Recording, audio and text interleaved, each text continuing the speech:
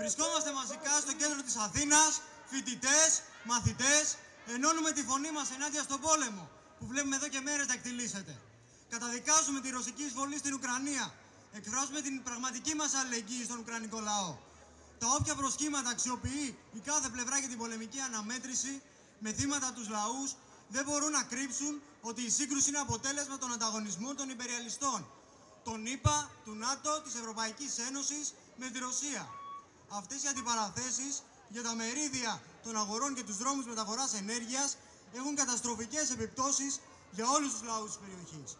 Ο Ουκρανικός λαός πληρώνει εδώ και μία δεκαετία αυτούς τους ανταγωνισμούς, έχοντας από τη μία τη ΣΥΠΑ, το ΝΑΤΟ, την Ευρωπαϊκή Ένωση, που το 2014 οργάνωσαν στην Ουκρανία ένα άδειλο πραξικόπημα, στηρίζοντας παραστριωτικούς μηχανισμούς, ναζιστικές οργανώσεις. Και από την άλλη τη Ρωσία, που προωθεί τα δικά της συμφέροντα, αποσπά εδάφη της Ουκρανίας και τώρα επεμβαίνει και στρατιωτικά σε αυτή τη χώρα. Οι συγκρούσεις αυτές θα ήταν κοροϊδία να λέμε ότι γίνονται και την ελευθερία και τη δημοκρατία, όπως πολλές φορές προφασίζονται. Ξέρουμε ότι γίνονται και το ποιος θα έχει τη μερίδα του λέοντος στις αγορές. Και για αυτές τις επιδιώξεις των υπεριαλιστών γινόμαστε μάρτυρες ενός αιματηρού πολέμου, με εκατομμύρια πρόσφυγες, με νεκρούς κάτω από τη σημαία του κέρδους των λίγων. Βλέπουμε κάθε μέρα εικόνες που μας γεμίζουν θλίψη, ξεριζωμό, να πέφτουν βόμβες, να σκοτώνονται οι λαοί για τα φέτη το φαΐ. Από την πρώτη μέρα, οι φοιτητικοί σύλλογοι, οι μαθητές, συνολικά η νεολαία, δεν μείναμε αδιάφοροι σε αυτή την πολεμική εξέλιξη.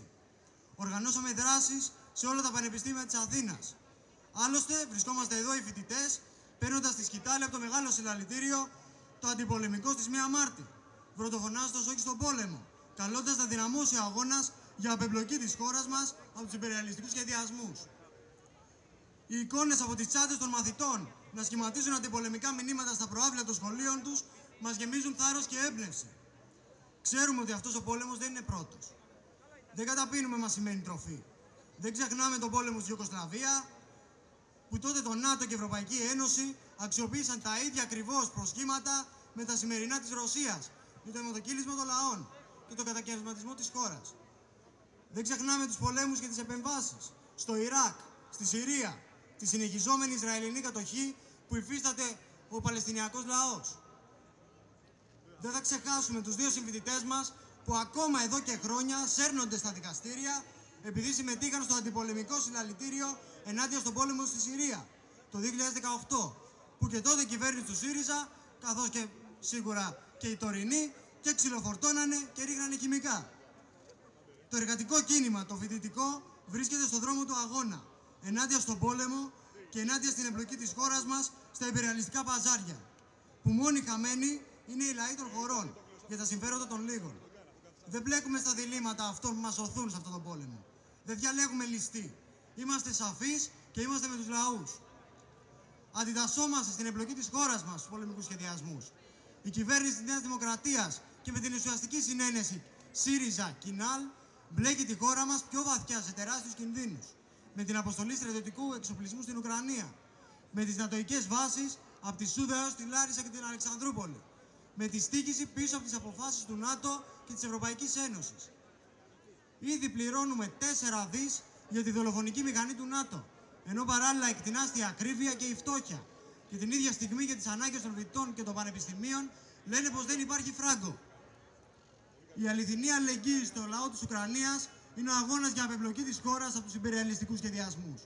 Είναι η καταδίκη της στρατιωτικής επέμβασης της Ρωσίας, αλλά και η καταδίκη Ευρωπαϊκής Ένωσης, είπα ΝΑΤΟ, που πυροδοτούν τον πόλεμο. Να μην πληρώσουν οι λαοί τα σπασμένα. Η αληθινή αλληλεγγύη στο λαό της Ουκρανίας είναι ο αγώνας για την απεμπλοκή. Δεν θα δεχτούμε την αποστολή των αδερφών μας, των συμφοιτητών μας, στις πολεμικές επιχειρήσεις εκτός συνόρων, που στόχο έχουν τα κέρδη της μίας ή της άλλη υπεραλιστικής μαχίας. Όπως ο ελληνικός λαός έβαλε εμπόδια στην εμπλοκή της χώρας στον πόλεμο στη Ιουκοσλαβία, στέλνοντας τα στρατεύματα στις λαχαναγορές Θεσσαλονίκης, έτσι και τώρα έχουμε εμείς τη δύναμη να βάλουμε φρένους στου σχεδιασμού τους. Θα ενώσουμε τις φωνές μας και θα γίνουμε εμείς οι πρωταγωνιστές των εξελίξεων. Απέναντι στα σχέδια της ελληνικής κυβέρνησης, όλων των υπεριαλιστικών συμμαχιών που μας στέλνουν κρέα στα κανόνια τους. Ευχαριστούμε πολύ τον Πανελλήνιο Μουσικό Σύλλογο και όλους τους καλλιτέχνες που στήριξαν την πρωτοβουλία μας που αντιτάχθηκαν στην επίθεση και την προπαγάνδα της κυβέρνησης για να διαστρεβλωθεί το πραγματικό περιεχόμενο και το μήνυμα της σημερινής αντιπολεμικής μας συναυλίας. Ενώνουμε λοιπόν τις φωνές μας, φοιτητές, μαθητές, καλλιτέχνες. Φωνάζουμε όχι στον πόλεμο. Απαιτούμε να σταματήσει η εμπλοκή της χώρας μας στον υπεραλιστικό πόλεμο στην Ουκρανία. Να κλείσουν οι βάσεις ΝΑΤΟ, είπα τώρα, που αξιοποιούνται ως ορμητήριο πολέμου.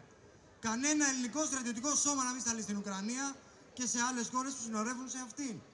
Να σταματήσει η αποστολή πολεμικών εφοδίων μέσα από την Ελλάδα. Συνεχίζουμε τον αγώνα μας για τη ζωή στο ύψος των αναγκών μας, δείχνουμε την πραγματική αλληλεγγύη στους λαούς. Όχι στον πόλεμο, καμιά συμμετοχή, ειρήνη και φιλία ζητάνε οι λαοί.